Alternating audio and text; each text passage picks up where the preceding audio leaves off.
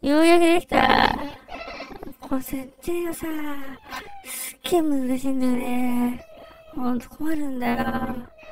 なんか、配線多いしさ、ジャックをどこにすればいいかわかんない。ジャックハンマーって言ってもわかんないか。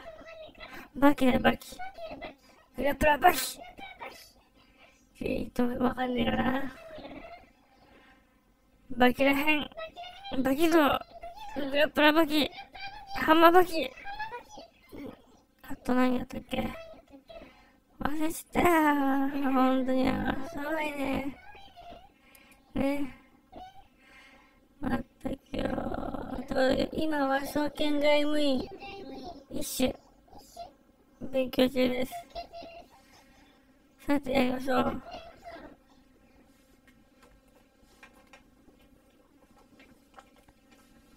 参考文献。タック出版。試験を当てる。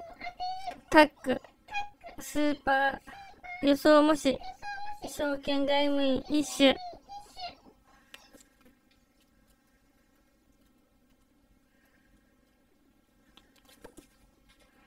企業の資金調達方法のうち株式の発行及び債券の発行によるものは直接金融に区分される。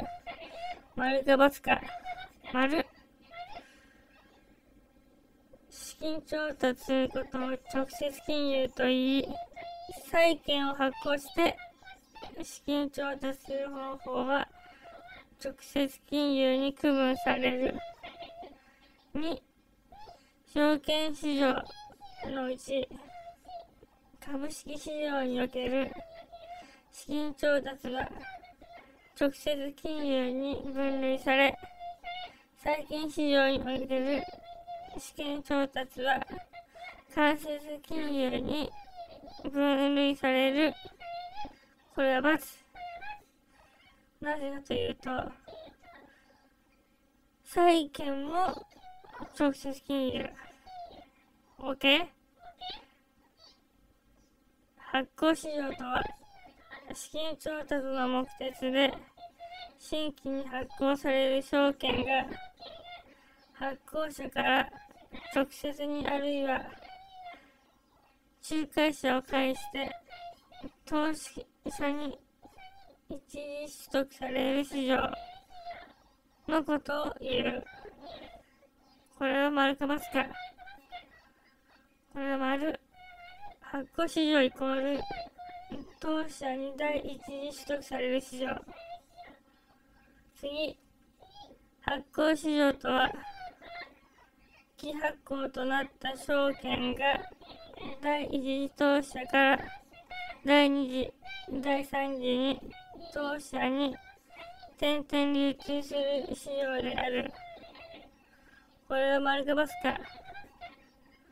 答えは×。記述は流通市場の説明である。OK? Alright. Next. 有価証券が発行者から直接に、あるいは金融商品取引業者などの仲介者を介して、投資者に第一次指摘される市場を流通市場という。このバス。第一次取得される市場っていうのは発行市場である。